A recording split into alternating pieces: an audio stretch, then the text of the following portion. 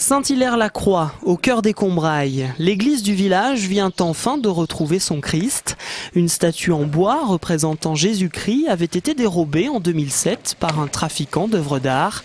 Le malfaiteur ayant été interpellé, la statue a été rendue à la commune la semaine dernière. Un cadeau un peu spécial à déballer. La statue, euh, moi je trouve qu'elle est, en, parfait état. Hein. Comment on l'a vu partir Il l'a emmenée sans problème, apparemment. La statue a été retrouvée en Belgique. Le voleur comptait la revendre à des riches collectionneurs en Chine ou au Moyen-Orient. Pour les fidèles de l'Église, ce Christ a surtout une valeur symbolique.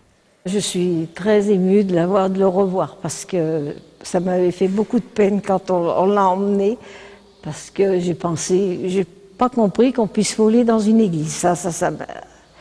Donc, je suis très contente qu'il soit revenu. Le plus amusant dans l'histoire, c'est que ce Christ date réellement de 2006. Il a été réalisé par un sculpteur contemporain dans l'esprit du XIIe siècle.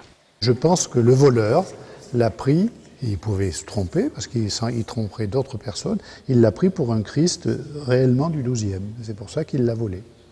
Ce Christ sera de nouveau suspendu dans l'église, mais fixé beaucoup plus solidement cette fois. À part cela, la commune ne prévoit pas de système de sécurité particulier.